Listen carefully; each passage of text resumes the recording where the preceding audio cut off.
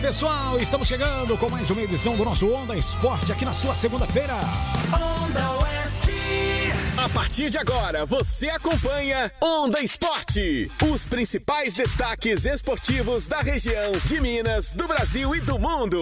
Onda Esporte. Oferecimento Cogil Materiais de Construção em Piuí. Pois é, hoje, segunda-feira, 17 de outubro de 2022, estamos na área com mais uma edição do nosso Onda Esporte, trazendo para você tudo a respeito da rodada aí do final de semana, no esporte, em várias modalidades. Olha quem já está de volta com a gente aqui após um período de pernas pro ar. Oi, Roseli! Boa Olá, tarde. Gabriel, boa tarde. Boa tarde, Mari. Boa tarde a você que está aí nos assistindo. Boa tarde, Gabs. Boa tarde, Roseli. Seja muito bem-vinda de volta. Nós sentimos Obrigado. muito a sua falta, viu? E oi para vocês aí do outro lado, meus atletas de final de semana.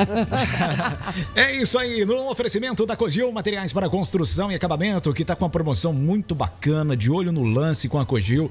Tá bom, pessoal? Ó, tá chegando a Copa e o pessoal pensou nessa promoção, mas pensou muito bem pensado, viu, Mari? É verdade, para participar é muito fácil. Você tem que ir até a Cogil, faz a sua inscrição ligação com um dos vendedores lá, já deixa o seu palpite para o jogo do Brasil e, e Sérvia, que é o primeiro da Copa. E aí, se você acertar, pode ser que você ganhe ali, ó, 25% de é. desconto na, na sua próxima compra. Imagina só, né, Roseli? Na sua próxima compra, você já tem 25% de bônus ali, já ajuda, né? Quem tá construindo, tá reformando aí, é sempre aquele gasto, né? Ai, Gabrielzinho, tô construindo, tá caro os negócios. Imagina só você ganhar esse bônus aí. É uma promoção muito super bem bolada. Ajuda, bem bolada. Bem bolada, super ajuda, viu, Gabriel? Ainda mais a Cogil, que tem tantos, tantas coisas lindas lá de acabamentos, né? E você quer comprar para sua nova casa, para sua casa reformada. Poxa, faz esse cadastro lá e dê seu palpite. Quem sabe você já não tem essa ajuda aí para poder acabar aí com sua construção. É isso mesmo, menina. De olho no lance é só com Cogil Materiais para Construção e Acabamento. Mostra que você é bom de construção e é bom de seleção também. Roseli, hoje nós estamos recebendo aqui, para começar o nosso Onda Esporte, um convidado que sempre muito especial e muito bom a gente receber aqui na Onda Oeste, porque ele vem com várias informações importantíssimas pra gente, né? É isso mesmo, é um convidado de peso, né? No último dia 9 de outubro aconteceu então a terceira etapa do Circuito Mineiro de Karatê na cidade de Ouro Preto. Como nós contamos aqui no Onda Esporte, a delegação da Academia Piuiense, Cório Can, esteve presente no evento com oito atletas, dos quais sete subiram no pódio. O professor da academia, Hernani Melo, está aqui hoje para nos contar um pouco mais como foi a competição. Bom dia, boa tarde, né, Hernani? Muito bom receber você aqui. Boa tarde, Roseli. Boa tarde a todos vocês. Boa tarde aos ouvintes aí da é, Onda Oeste. É um prazer sempre estar aqui para trazer as notícias, as informações do, do esporte karatê. Que bom. Então nos conte um pouco sobre este evento que aconteceu então lá em Ouro Preto, onde sete atletas piuienses estiveram aí no pódio. Qual foi a, a idade? Qual a idade que foi deste torneio aí, deste campeonato? É, exatamente, Roseli. No último dia 9 de outubro, né? É, domingo, nós estivemos na cidade de Ouro Preto, no campus IFMG é, disputando o circuito, a terceira etapa do circuito mineiro de karatê, com oito atletas da cidade de Piuí e no final nós tivemos sete atletas premiados, né? É, esse evento é, ele atingiu todas as categorias, masculino e feminino, adulto e infantil, todas as, é, as categorias de kata, de comitê, da luta, né, propriamente dita, né? Então ficamos muito satisfeitos no final porque realmente se você ir com oito atletas e no final você conseguir sete medalhas é, é muito significativo. Que bom. E a idade deles, qual que era, assim, na faixa de? Olha, a partir de 5 anos de idade até 20 anos nós tínhamos atletas neste evento. Que joia.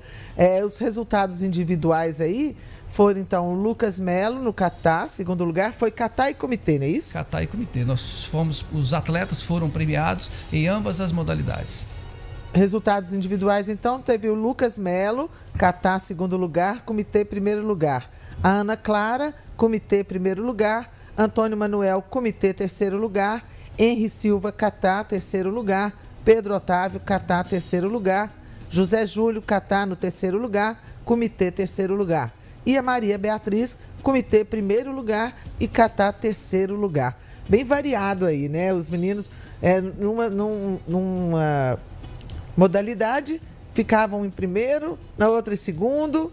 Exatamente. É, foi, foi muito, muito expressivo o resultado né, de, de todos os atletas. Acho que nós atingimos as expectativas. É, pegando um gancho aí na sua colocação com relação a Maria Beatriz, né? Maria Beatriz é uma das nossas atletas que estará agora no mês de novembro disputando a final do Campeonato Brasileiro. A Maria Beatriz é da categoria de base.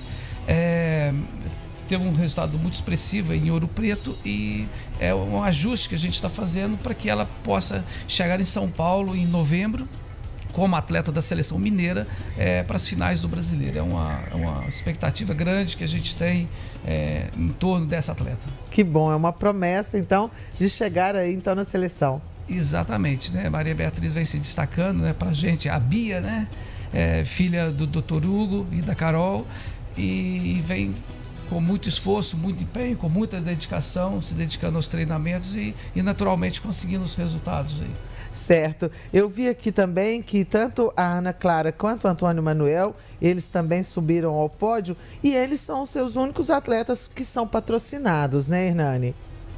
É, exatamente. É, os dois atletas são patrocinados, tem as empresas, a relação das empresas né, que, que patrocinam esses atletas, e isso é muito importante, né? É, tanto eles, tem, temos outros atletas, não só do Karatê, ali, mas de, do esporte em geral, especificamente aqui da nossa cidade de Piuí, que precisa desse auxílio, dessa ajuda, desse incentivo, e é muito importante, realmente sempre sobra para as empresas, para os empresários, é para o comércio, mas é, eu acho que é uma responsabilidade social, eu como comerciante também, né, que nós temos com, com, esses atletas, porque é o que eu sempre falo, o esporte transforma, ele muda as vidas e, e precisa realmente desse incentivo, desse, dessa motivação e desse investimento também. Legal. Então eu vou até ler aqui, ó, e agradecer as empresas que patrocinam então a Ana Clara e o Antônio Manuel no karatê é, da Academia Coriucan. São as empresas Facilite Negócios Imobiliários, Juliano Autoelétrica, Só Plantas Paisagismo, BT Bike Shop, Maromba Shop, loja de suplementos, e a Leseg, loja de EPIs e perita judicial. Muito obrigado, então, aí a essas empresas que patrocinam aí os atletas, os pequenos atletas, que são aí o futuro, né, do karatê e também do da capoeira também, que eles também jogam capoeira muito bem, tanto a Ana Clara quanto o Antônio Manuel, e são patrocinados aí no Karatê por essas empresas. Então, muito obrigada a vocês aí. Então, nos fale, é, Hernani, quais são os próximos eventos que a Can estará presente, levando aí os seus atletas, levando o nome de Piuí longe aí? Conta pra gente. É, então, agora realmente a gente tem uma temporada bastante cheia né, de eventos, né? Para fechar o ano. Né? Agora, nesse próximo domingo, já nós temos um, a quarta etapa do Circuito Mineiro, já na cidade de Uberaba. Né? E logo depois vem a tão esperada né? a, a quinta etapa, que é aqui no Glória, São João Batista do Glória. Né? Sim. Onde realmente a gente espera que a gente possa levar aí uma quantidade significativa de atletas, em torno de 40, 50 atletas pelas facilidades de, de, de, distância, enfim, né? É mais prático para todos, né?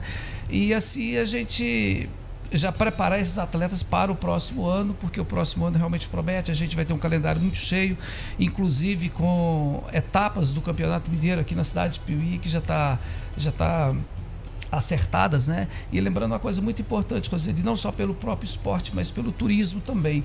Né? Essa etapa que vai acontecer em Piuí no próximo ano, no, no início do ano, é uma etapa que gira em torno de mil pessoas não residentes em Piuí. Né? Então isso é muito significativo, isso é ajuda o turismo também. Com certeza, os restaurantes, os hotéis, supermercados e, e, tudo exatamente, mais, né? Exatamente. E foi, foi, é uma etapa, já teve uma etapa dessa aqui, foi esse ano passado? É, teve a etapa da Copa Brasil. Isso. Né? Foi, é um, foi um evento independente, né? Sim. Agora, esse é um evento, um evento da Federação Mineira de Karatê, vinculado diretamente à federação. É, eu apenas é, organizo né, a, a, a, logística, mas o evento uhum. todo feito pela federação. Né? Ah, muito importante. E, e tem mais coisas muito boas vindo por aí. A gente está fechando o calendário, né? Vamos finalizar tudo primeiro, depois a gente vai divulgando aos poucos. Mas tem muitos eventos que vai gerar muitos turistas em Piuí, muito público, muito atleta. E é o que você disse, é, são hotéis, postos de gasolina, farmácia, restaurante, enfim, né? O turismo provocado, né? Eu é. acho que isso é uma é uma ótima oportunidade também né, do setor econômico, é, traz muitos recursos para a cidade. É isso mesmo. E nessas viagens, vocês recebem algum patrocínio da prefeitura, alguma ajuda, como para deslocar ônibus, alguma coisa assim? Olha, todas as vezes que a gente solicitou, a gente foi prontamente atendido pelo prefeito municipal, né? Mas a gente entende também que a gente não, não, não pode sobrecarregar, todas as vezes ficar batendo na porta, a gente tem essa consciência, né?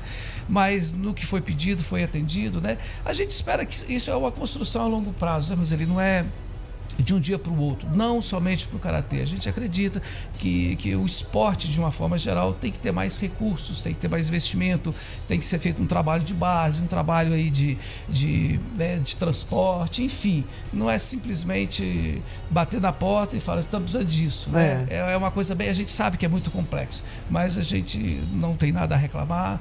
Pelo contrário, a gente está a agradecer por tudo que foi feito até agora.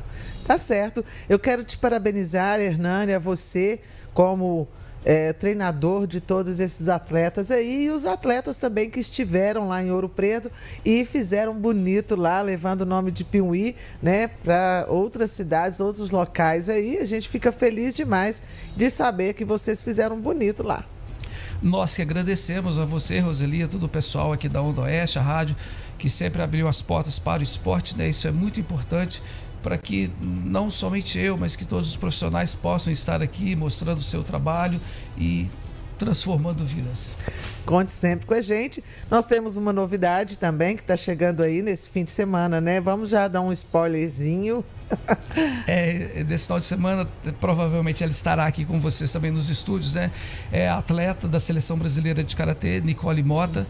É, ela já está 10 anos na seleção brasileira de karatê, atleta que já percorreu em mais de, de 20 países, né? É, teve na beiradinha para estar em Tóquio nas Olimpíadas, né? Mas por um por alguns décimos ela não, não esteve Poxa, presente, mas com certeza hoje ela ocupa a 15 posição no ranking mundial. É uma atleta que está chegando e com certeza ela muito em breve vai estar tá aí entre as cinco melhores do mundo. Ela vai estar aqui em Piuí dando um curso para os nossos atletas. Nós também estamos procurando é, é, trazer atletas de ponta e vamos trazer esse o pontapé inicial para que possa trazer mais recursos, mais informações, né, para que os nossos atletas possam ter as melhores informações e fazer um trabalho de, de qualidade. Legal. Quero então te agradecer, parabéns pelo seu trabalho sempre, né? A gente fica muito feliz é, de ver essas crianças é, e os adolescentes também que você treina lá é, se sagrando aí campeões nos torneios que vocês têm ido representando aí Piuí. Parabéns. Muito obrigado.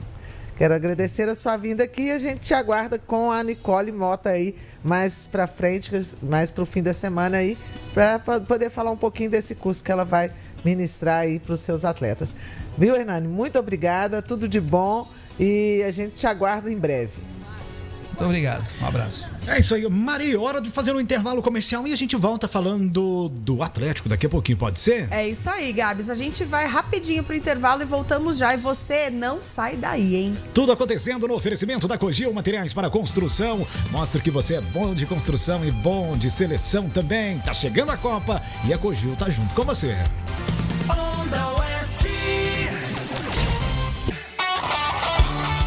De volta na sua Onda Oeste multiplataforma. É rádio com TV e TV com rádio para você.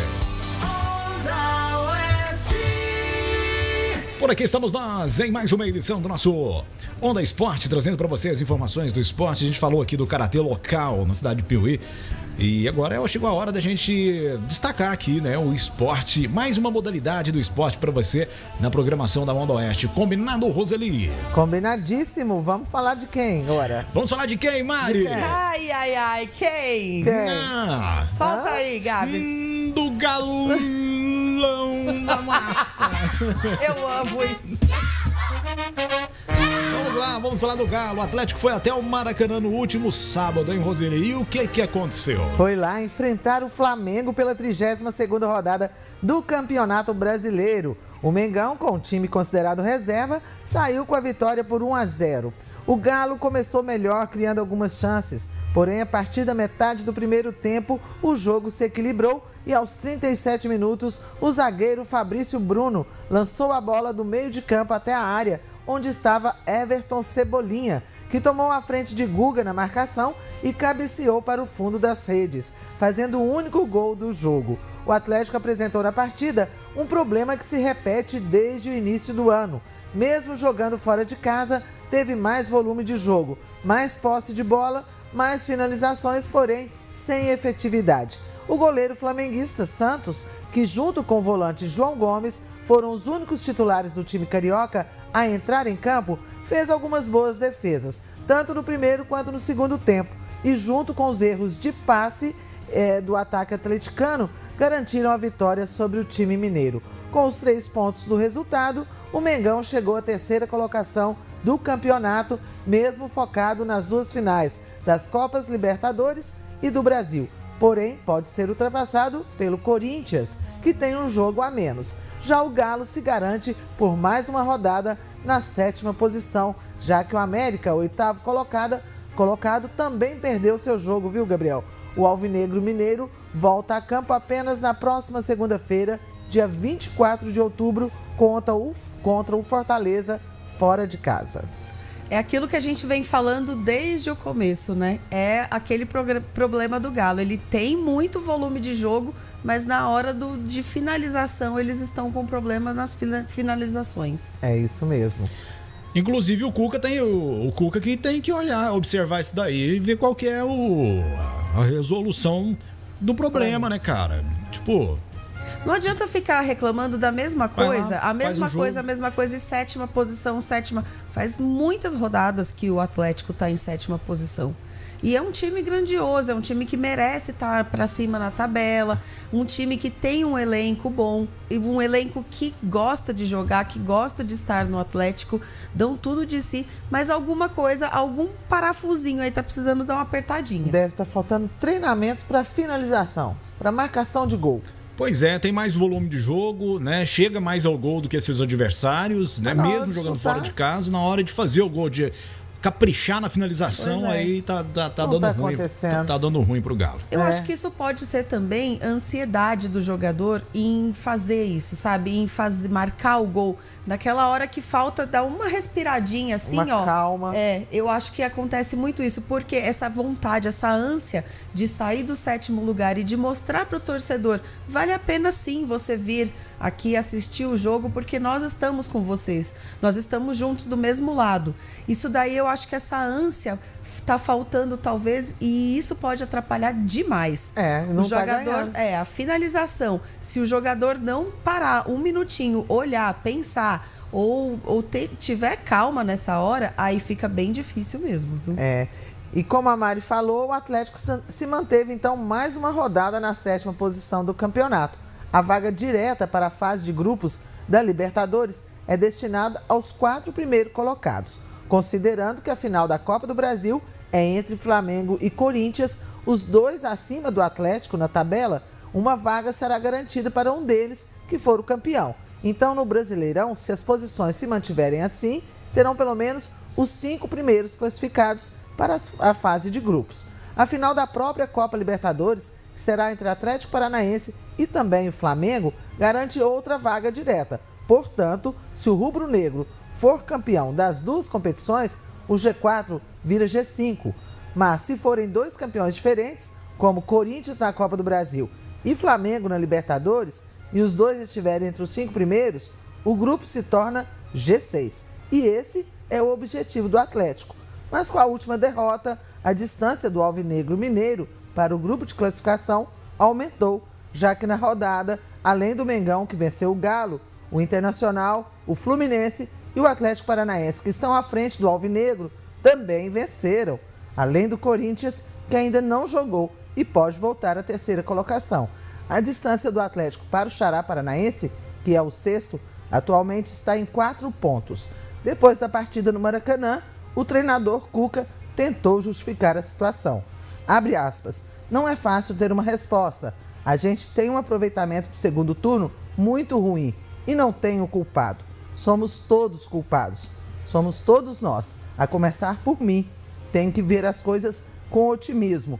Vamos buscar essa vaga direta. Se Deus quiser, faltam seis jogos. Fecha e se aspas. Deus quiser também, isso, essa previsão aí vai dar certo. Corinthians campeão da Copa do Brasil, pelo amor pois de Deus. é. É, vamos aguardar pra ver, né, Mari? Mas E assim, ó- O Galo tem quantos? Seis? Mais seis jogos? Mais, Mais seis jogos. Nossa, tem que, teria que vencer pelo menos uns. Quatro. É, pelo menos os quatro, é. É verdade. Então, e aí, pra agora, assim, para se garantir na Libertadores, né? E, e vai ter que torcer também pro. É, pro Flamengo ganhar a Copa Libertadores e o Corinthians ganhar aí a Copa do Brasil, que aí vira G6. G6. É eu super concordo com isso. Eu Por também. mim, ó, podia, podia bater o martelo agora. O Daniel já tá torcendo pro Corinthians aí, né, Duane? É, rapaz. Tá mesmo. Agora, gente, que situação do Cuca, né? Ele sempre vai, fala com a imprensa, mas não tem mais o que ser dito. Na verdade, ele fala, fala, fala sempre a mesma coisa de maneiras diferentes. Mas não tem o que dizer. Ele vai falar o quê? Ele sabe que o time tá tentando, é o que a gente tem falado aqui sempre quando fala do Galo, né? O time tá tentando, o time tem elenco, o time tem um, um treinamento bom, tem um treinador que a torcida gosta e joga junto e não não, Não consegue sair da sétima É, E o posição, Cuca não tem mais o que falar também, É, né? fica Então, complicado pra ele. fica. Pois e não é. é. fácil não, ir lá dar ta- cara a tapa não é fácil não. Não viu? mesmo, porque sempre. O- o- claro que os torcedores culpam o, o técnico, né? Pô, vamos tirar esse técnico aí, não tá adiantando nada. E olha que ele é bom pra caramba, né? Ele é muito bom. Tem Mas uma o história conjunto maravilhosa, não tá, né? não tá encaixando aí. É isso aí. Falamos do galão e agora bola pra frente, produção.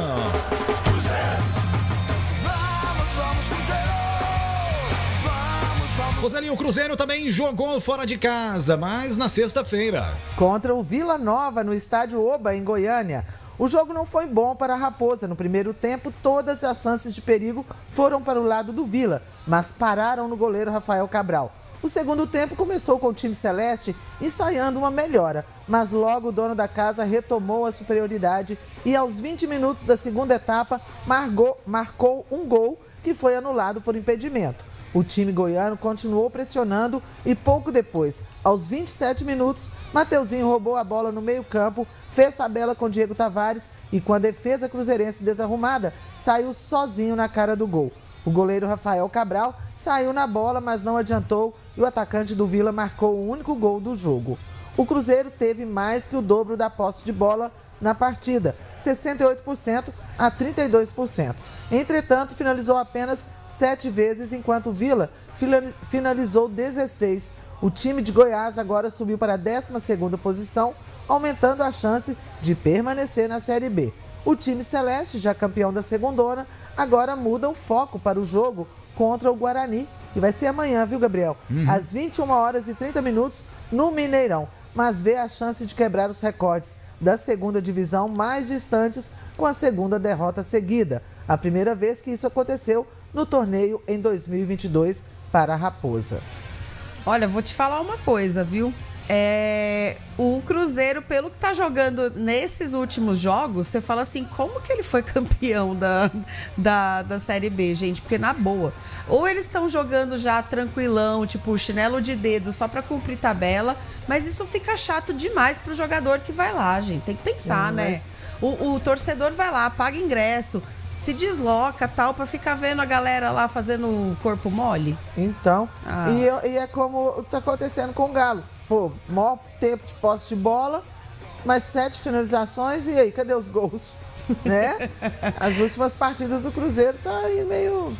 E hoje eu vi a carreta do Cruzeiro. É. Hoje eu cruzei com ela na, na MG 050. Não, e eu também vi uns torcedores na sexta-feira, que teve a festa, né, da torcida cruzeirense aqui Sim. em Piuí. Eu vi alguns torcedores saindo de lá. Ninguém tava com cara triste, viu, pra te falar a verdade. Não estavam muito preocupados, não, se, tá, se o Cruzeiro ganhou ou Perdeu. perdeu e tal. Mas eu acho que essa atitude, é- pode ser até que o, o, que o elenco do Cruzeiro não esteja fazendo corpo mole, mas é o que parece. Ah, é. Entendeu? Porque é um time que veio numa ascensão incrível. Quando deu certo e, e a taça tá na mão, o cara tira o pé do, tira o pé do acelerador. Aí fica chato pra torcida, né? Poxa. É, e aí, Gabs, o que, que você fala? É, o- O que, que você, como o- torcedor, diz? O, o Cruzeiro ficou sem o técnico Pesolano, né? Que foi punido aí pelo, pelo STJD, né? Alguma coisa assim. Isso. Isso. Ele foi punido, então não, não pôde estar lá é, comparecer. E eu acho que o Cruzeiro tinha alguns desfalques também. E é aquele negócio de final de, de, de temporada, né? Às vezes tem as lesões, é, tem os, poupa alguns jogadores, enfim. Mas eu não creio que o Cruzeiro esteja fazendo corpo mole, não, viu, Mari? Você acha eu acho que, que jogou, não? jogou bem o time ali. Só que né, a bola não entrou, infelizmente. Né? Senão tinha empatado ou alguma coisa assim. Ah, mas tem sido recorrente isso E ultimamente, o, né? o Cabral também deu um salve aí pro, pro, pra Raposa, viu? Mais uma vez, a torcida tem que. Poderia ter sido pior, então. Poderia ter sido pior. Tá. Então, como o treinador Paulo Pesolano estava suspenso para a partida da sexta-feira, como o Gabriel falou, por punição em julgamento do STJD, o auxiliar do uruguaio Martim Varini comandou a equipe cruzeirense e depois da partida falou sobre a segunda derrota seguida. Aspas. Depois de alcançar os objetivos que a gente conquistou, está custando um pouco ter a energia que o time teve durante todo o torneio. Mas é, que fez a gente ter tanta diferença e conquistar os objetivos tão cedo. Estamos trabalhando para voltar a conquistar essa energia. Ficamos muito bravos por não conseguir a vitória e vamos trabalhar muito forte para no próximo jogo voltar a vencer. Fecha aspas. O próximo jogo é no Mineirão contra o Guarani amanhã, terça-feira, às 21 horas e 30 minutos. A preocupação continua com o departamento médico que se mantém cheio. Um dos atletas que estão no departamento médico, o atacante Rafa Silva, que se machucou contra o esporte, fez cirurgia no joelho direito no, no, último sábado e volta só para a próxima temporada. A venda de ingressos para o jogo contra o Guarani já começou e para os sócios já foram mais de 15 mil entradas comercializadas. Os bilhetes variam de 30 a 150 reais. Vocês têm palpite para esse resultado do jogo? Eu acho que o Cruzeiro vai para cima com tudo, porque já são duas derrotas seguidas. Eu acho, eu falo aí uns 2 a 0 pro Cruzeiro, 2 a 0 pro Cruzeiro. E aí, Gabs? Eu também vou nessa, 2 a 0 pro Cruzeiro no Mineirão perante a torcida e, portanto, ele não vai querer fazer um papel feio, né? Então, Eu vou, eu vou chutar o contrário, então. Vou ser do contra. vou dar, vou dar um, um voto de confiança pro Bugre. tá bom então. Já que falamos do Atlético e do Cruzeiro, vamos destacar também o América. Toca o hino do América pra nós aí, produção. Eita! E o América enfrentou o Fortaleza, sabe onde? No Independência. E foi no sábado, Roseli. Foi. Os dois times vêm fazendo ótima campanha no segundo turno do brasileiro e se enfrentaram buscando manter o bom aproveitamento. Na virada do turno, as duas equipes estavam na zona de rebaixamento. O Fortaleza, inclusive, era o último colocado. E agora estão em oitavo e nono lugar da tabela. O jogo foi bom, o América teve mais chances jogando em casa, mas o Fortaleza aproveitou as suas oportunidades melhor.